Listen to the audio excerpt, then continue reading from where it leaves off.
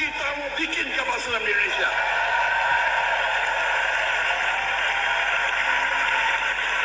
Ambil semua teknologi, belajar dan kita bangun di Indonesia. Karudin Zenot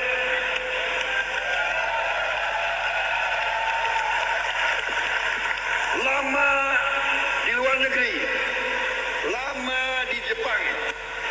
Saking lamanya kepalanya jadi botak.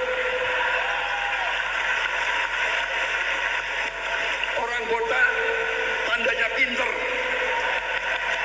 Benar. Saya juga udah mulai botak juga nih.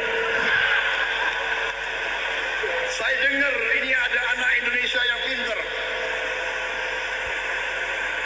Saya cari, cari, cari, ketemu. Saya bilang Anda harus berbakti kepada bangsa dan negara. Dan Alhamdulillah Presiden Jokowi setuju. Beliau jadi dirut. Baik. Jadi ini berarti tema pada waktu debat presiden kemarin ya. Kira-kira begitu. Jadi kalau tidak salah pertanyaannya adalah dalam kerjasama pembangunan kapal selam dengan Korea Selatan, PT PAL dengan Korea Selatan ya, yang kemudian ini dibatalkan. Mungkin ini satu pernyataan yang eh, harus diperbaiki bahwa ini bukan dibatalkan, bahwa proyek ini sudah berjalan dengan dibangunnya tiga kapal selam, di mana dua kapal selam dibangun di sana dan satu kapal selam eh, joint sectionnya dikerjakan di PT PAL dan seluruh tes ya, eh, tes-tes untuk eh, kelayakan daripada kapal selam ini dilaksanakan di Indonesia di PT PAL Indonesia. Nah, untuk batch kedua, jadi yang tiga berikutnya ini bukan dibatalkan.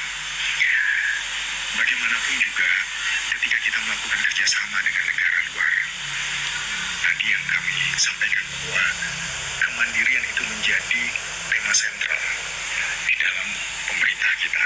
Kemandirian dan penguasaan teknologi. Dua tema sentral ini yang menjadi patokan pemerintah saat ini. Dalam hal ini eh, Menhan kita, Pak Prabowo Subianto, dan kami menjalankan itu semuanya dengan apa?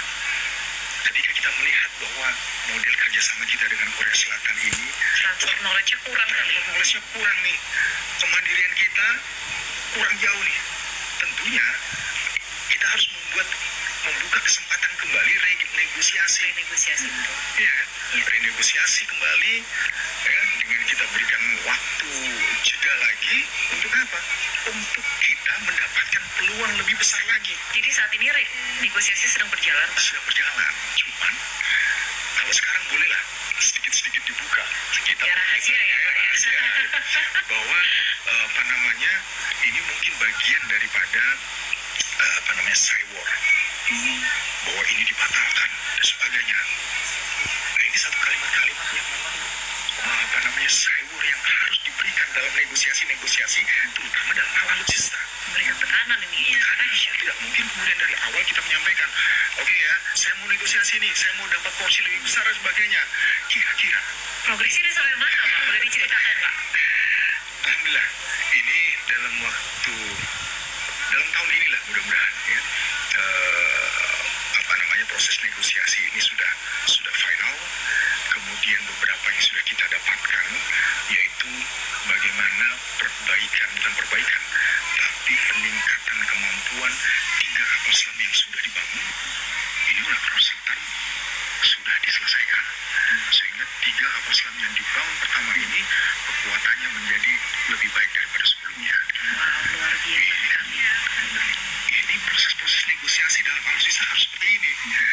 Tidak bisa dengan cara-cara yang polos-polosan saja. Saya mau negosiasi nih saya mau dapat lebih besar dan sebagainya. Nah berbagai cara ini kita gunakan ya.